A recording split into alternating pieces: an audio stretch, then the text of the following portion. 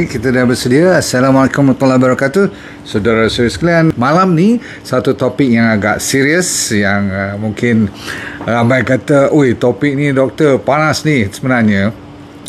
Uh, 10 cara untuk kita jahanamkan hidup kita selama-lamanya.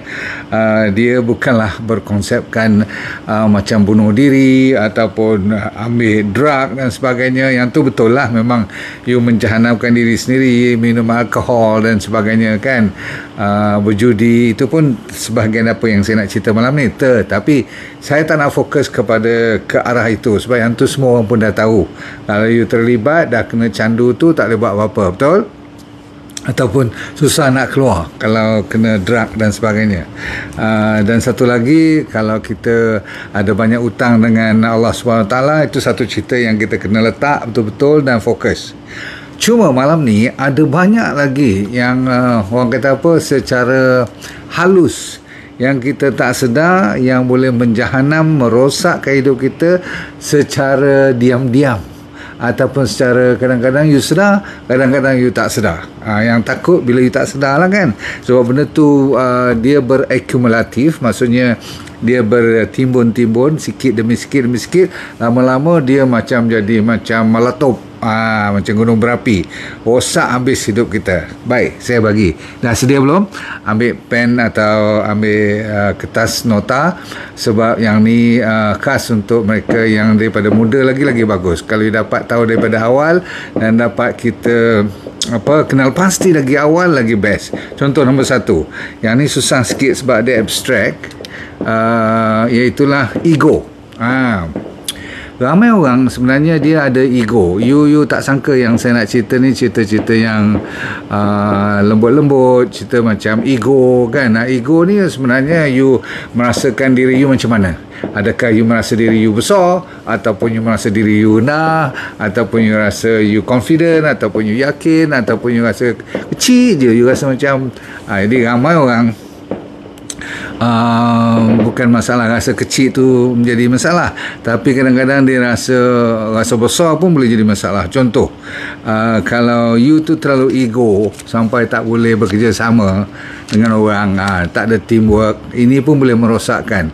Bagi mereka yang masih lagi bekerja bagi mereka yang masih kena ada teamwork tahu teamwork tak? Kerja sepasukan susah. Kalau kita ada ego So nombor satu perkataan yang you kena check You ni ada ego tak? Ha, boleh tak you bekerjasama Ataupun boleh tak you menerima perbezaan pendapat? Ha, Setengah orang tak boleh. Dia dia saja kena betul Orang lain tak boleh. Ha, Jadi ha, ego ni kadang-kadang merosakkan hidup you. Orang meluat pada you. Faham tak? Tapi disebabkan kita orang, orang timur ni Kita banyak sopan. Uh, kita menyantuni orang selalunya. Jadi kita tak nampak. Dan jarang juga dengar orang kata direct kat kita aku tak suka dengan kau lah. Engkau semuanya engkau je nak. Betul lah tu jadi dunia ni sebenarnya dia tidak berputar kepada satu orang. Saya ulang dunia ni tidak berputar kepada atas saya sahaja atau anda sahaja dia berputar kepada satu makhluk sebagai satu komuniti besar satu dunia ni Ha, tak kira lah you pangkat presiden pun bukan satu presiden boleh kawal satu dunia. Jadi tak payah naik ego. Faham, faham? Okay. So yang uh, uh, menjadi masalah ni sebab dari kecil kot. Kadang-kadang kita telah dibela atau dijaga ataupun dipengaruhi uh, dengan konsep semua sendiri. Buat sendiri. Uh, jangan peduli kat orang. Kau-kau saja. Uh, jadi kadang-kadang dibesarkan cara macam tu. Masalah pertama. Kedua. Kedua ialah masalah ni uh, kita sambung cara hidup pula. Okey, ready? Siapa di sini yang bangun tidurnya kalau masa hari kerja tu sebab dia terpaksa kot maka dia bangun awal sedikit lah. Ataupun dia ikut waktu ada bunyi alarm dan sebagainya. Faham tak? Tetapi katakan kalau kalau kita tidak ada uh, kerja pada hari itu ataupun hari cuti lah libur. Ada tak sebahagian daripada kat sini yang jenis yang bangun kubur apa pun tak kisah? Ha. Jadi um, apa kaitan bangun dengan dengan kerosakan jahanam hidup ni? Rupa-rupanya ramai kajian dibuat bermulanya you buka mata setelah malam dah berlalu kalau dah sampai matahari naik dah dah sampai duha semua dah you masih lagi tak bangun. Kan ada setengah orang bangun anytime they like. Sebab apa? It's my weekend uh, weekend satu cerita tapi yang ni kalau besok you dah pencen katakan dah dewasa sekarang ada tak perangai yang lihat sangat nak bangun kalau you lihat nak bangun ini juga adalah petanda yang you akan menjahanamkan hidup you. Sebab apa?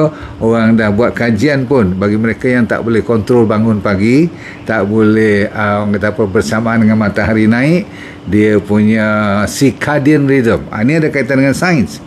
Walaupun you ingat I cerita tentang psikologi tapi ada kaitan dengan kesihatan. Apabila you bangun lambat ataupun bangun anytime you like, your life will be miserable. Sebab satu dari segi sains circadian rhythm you akan terganggu. Sebab bila matahari dah naik tinggi you masih lagi tak bangun tak tak orang kata apa uh, orang kata apa berlega mencari rezeki bertebaran kat dunia maka you akan bermasalah ha Okey, ada kaitan dengan hormon, ada kaitan dengan dari segi sosiologi pula.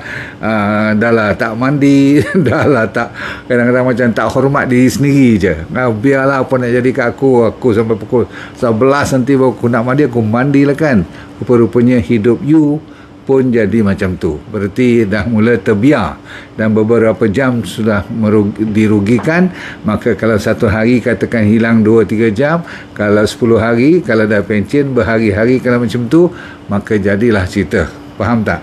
Ha, walaupun ni you rasa macam lah dok takkan berlaku kat I dah ramai orang tak boleh tukar perangai lama ni so nombor dua ialah bangun tidur dan sihatkan diri uh, syukurkan uh, rasa bahagia bila bangun pagi tu bernafas dapat uh, bertemu lagi dengan matahari pagi semua tu oksigen pernafasan dengan burung semua tu itu adalah satu nilai yang sukar dijual beli. Jadi mereka yang biarkan diri mereka hanyut dengan uh, bangun buku apa pun habis. Dan ada kaitan pula dengan nombor tiga Ah, ni senang-senang je. Saya tak bagi benda yang susah-susah.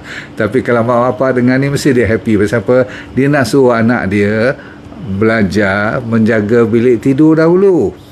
Cik, yang cakap ni nasib baiklah ada orang rumah yang pandai jaga bilik ataupun uh, betulkan uh, katil kan uh, apa orang panggil uh, bantal eh kain kebas semua tu diatur elok. Macam disiapkan kat hotel tu ha, sesiapa saja yang dapat menjaga selepas dia bangun tidur kalau dia nak pergi mandi dulu pun boleh tapi sekurang-kurangnya by the time duha kam katil pun dah siap. Maksudnya dah boleh orang datang boleh ambil foto lagi. Kalau dia tak buat tidak jadi masalah. Tetapi dia implikasi ataupun tanggapan kepada diri you tu ialah you tak kisah kalau kat tempat tidur pun boleh macam tu berarti tempat kerja you uh, dapur you tak payah kita pergi tengok tak payah tengok rumah you pun mesti berterabur.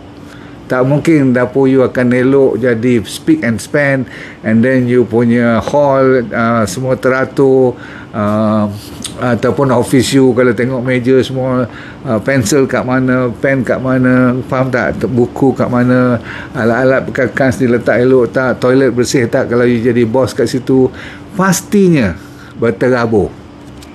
Orang putih kata mestinya cluttered. Tak cluttered? Maksudnya Mesti bertaburan. Jadi tuan-tuan sekalian Hidup you pun akan tidak jadi straightforward. Maksudnya tak licin ha, tak smooth. Sebab ini adalah keterampilan apa yang you buat begitulah uh, tempat tidur begitulah cara you bekerja projek you pun paperwork pun ataupun hasil kerja you pun macam tu juga Ha, jangan-jangan kalau tulisan you macam tulisan saya tulisan doktor kan teruk adalah ha, adalah katil tak pernah jaga tulisan berteruk nak baca pun tak boleh. Contoh maksud saya begini uh, apa kaitan dengan jahanamnya hidup you rosaknya hidup selama-lamanya? Sebab ni adalah habit tak habit. Habit maksudnya tabiat. Dan tabiat bukan tu satu hari tabiat tu berhari-hari berbulan-bulan dan sampai kapan-kapan ataupun sampai kita kena kapan. Okey. Melawak-melawak juga. Saudara saya sekalian you faham tak? You dah pernah tengok tak kawan you macam ni? Ataupun you sendiri atau saya sendiri macam tu? Kita kena mengakulah. Kita kena cerminkan diri sebab apa? Ini yang menjahanamkan hidup kita. Kita kata oh aku tak ada apa. Gaji masih naik. Tetapi tidak tentram. Dia pastinya akan ada dalam setiap satu dua minggu mesti ada satu benda yang paling besar tak kena. Ya kadang-kadang tak jumpa barang kadang-kadang bau tempat kadang-kadang orang datang orang tegur ke apa ataupun orang mendapat tanggapan yang aku tak boleh haraplah dia ni. Ah tu tak rosak hidup you. Katakan you baru nak naik pangkat dan sebagainya bos datang-datang tengok berterabur tempat. Macam katil yang tak dipeduli nombor dua. Nombor tiga. Oh nombor dua tadi ada lagi sibuknya. Uh, ni ada kaitan dengan daripada tempat katil ke rumah tempat-tempat nah, dapur kadang-kadang uh, masih lagi pinggan yang semalam masih lagi tak cuci dan sebagainya. Sebab itu tabiat you. Uh, jadi tabiat ni merosakkan sebab apa? Uh, setengah daripada kita uh, menambah rosakkan lagi dengan buat-buat sibuk. Faham tak? Nampak sibuk. Setengah orang dia biarkan benda tu nampak berterabur sikit supaya dia nampak macam sibuk. Macam dia seorang lah uh, apa dapat kerja satu office tu semua longgok kat dia Padahal ada 40 staff macam dia buat 440 punya. Satu satu office macam kucing nak beranak dalam tu jadinya. Dia punya bilik dia tu. Jadi tuan-tuan sekalian, jangan cuma nak look busy tapi sebenarnya tak sibuk. Ha, sebab dia tak efektif maka nampak macam sibuk tapi sebenarnya tak perlu. Okey, tak sibuk sebenarnya. Okey. Dan seterusnya uh, yang menjahanamkan diri you dan uh, hidup kita ialah kita ni orang panggil dalam bahasa orang putih waiting for opportunities. Ni lain cerita pula eh. Nombor berapa dah? Nombor tiga ya. Kita cuma tunggu peluang. Kita tak pergi cari peluang. Ah, kadang-kadang kita nampak benda tu memang dengan-dengan desas-desus ada peluang. Kita tak mau. Kita buat dek je. Kita dah sibuk. Ingat tak kita dah buat-buat sibuk. Buat-buat sibuk adalah sebahagian daripada masalah kerosakan hidup kita. Lepas buat-buat sibuk, masa tu juga kita suka menunda.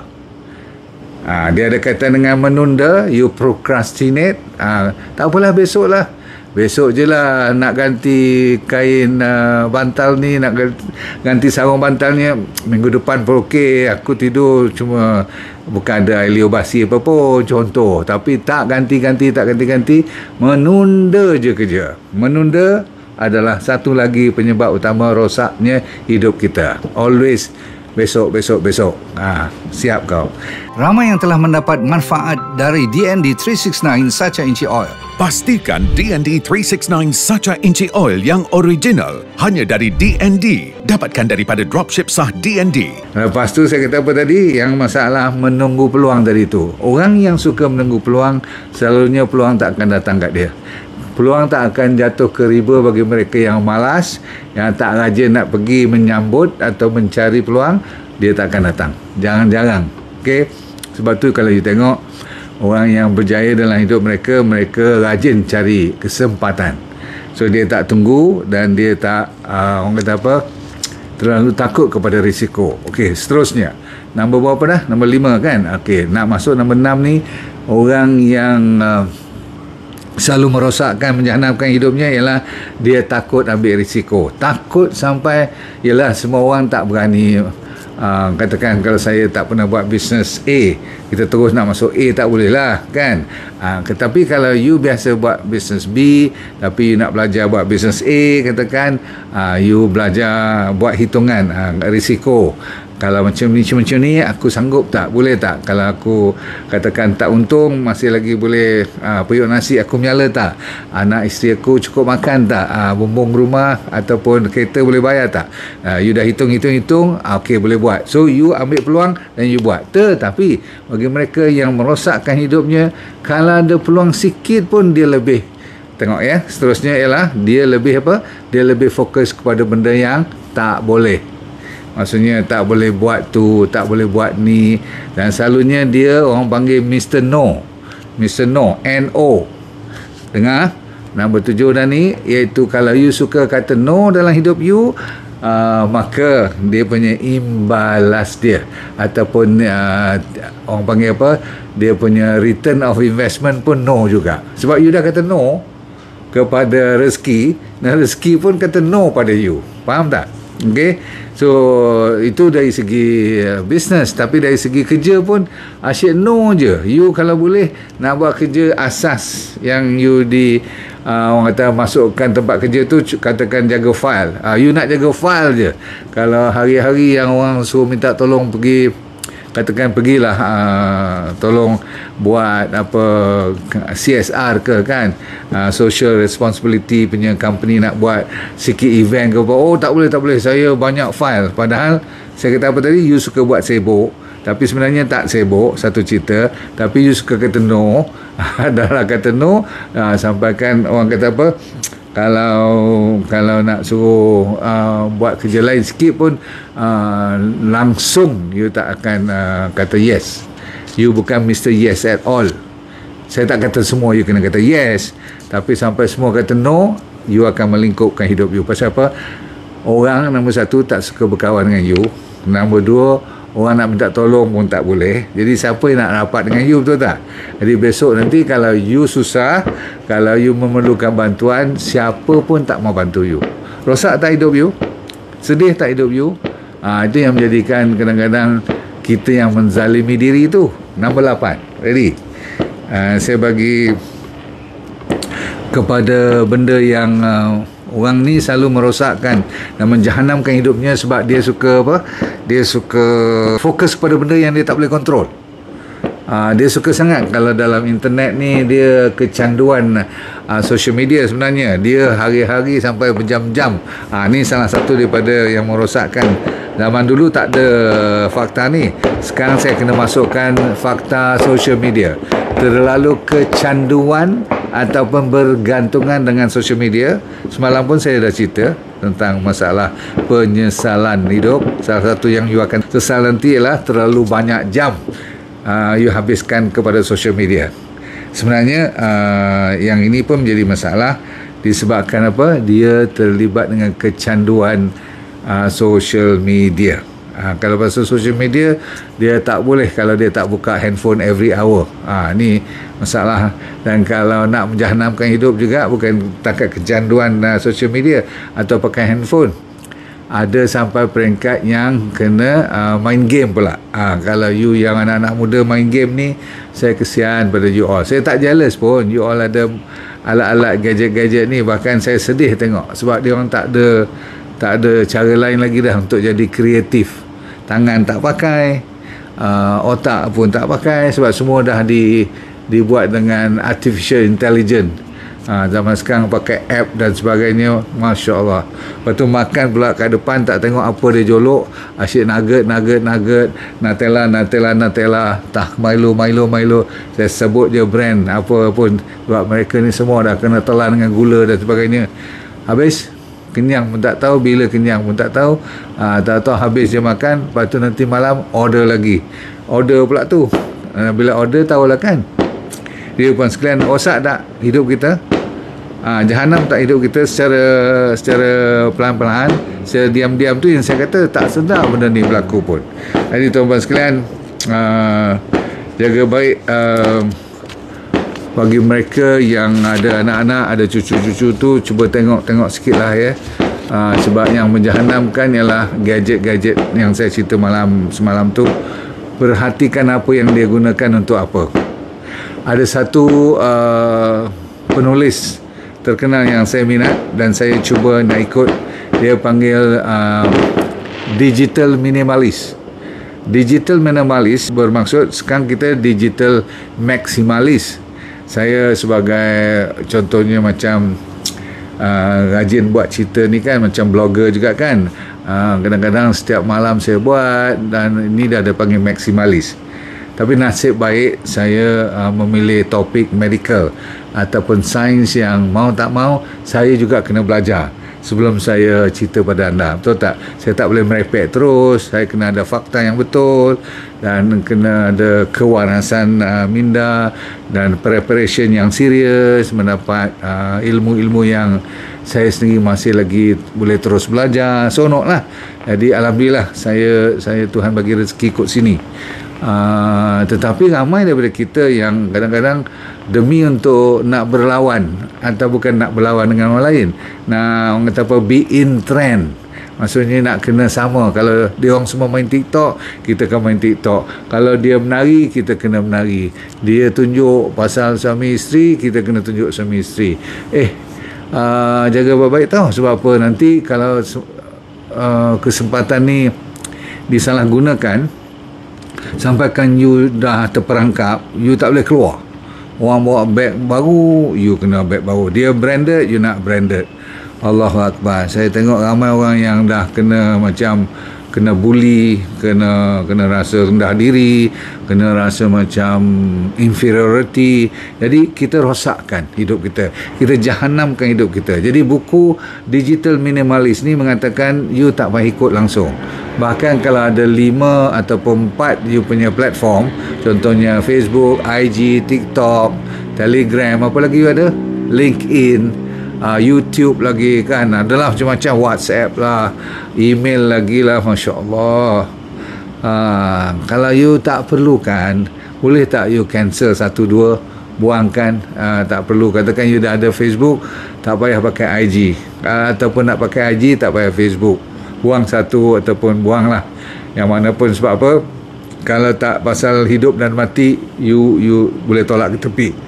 Minimal. Dan you pakai pun uh, waktu-waktu yang tertentu yang kalau you tanya balik eh dulu masa tak ada social media macam mana? Atau aku mak aku atau aku sendiri dulu hidup tanpa handphone dan sebagainya.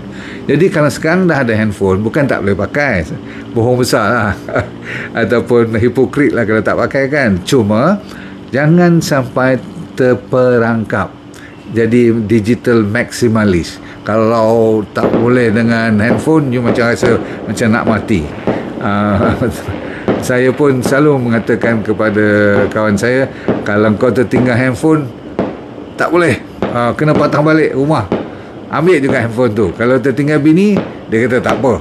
Boleh tinggal. Masya Allah sampai macam tu sekali buat betapa nilainya handphone tu. Betul lah.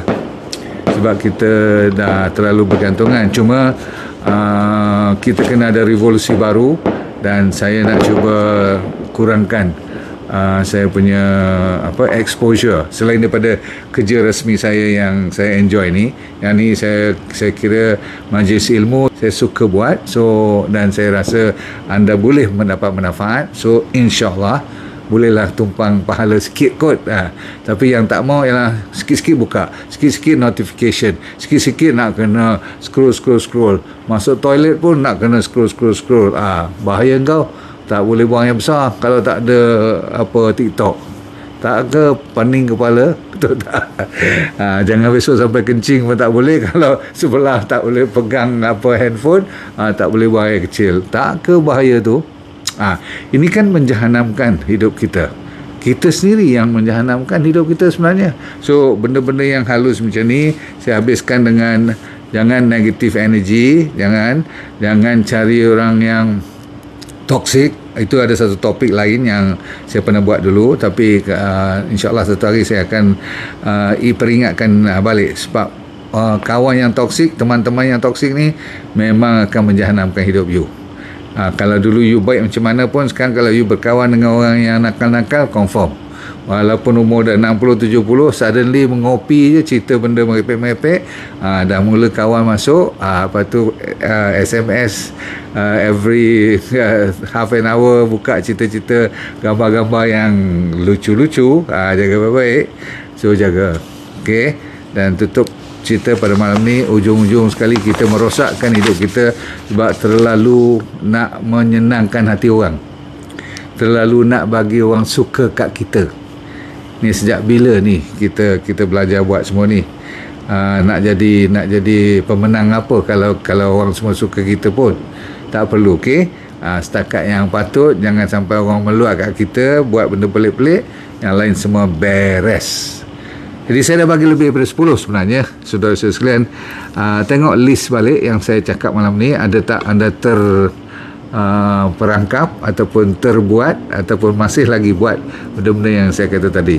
Alright?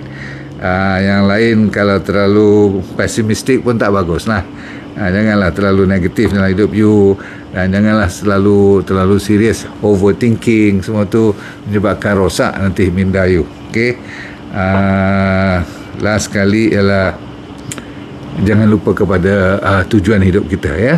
Iaitulah tidak lain tidak bukan apa dia? Siapa tahu dunia bahagia akhirat syurga right uh, senyum-senyum semua sebab yang tu antara uh, penawar kepada semua 10-10 saya kata tadi senyum je okay?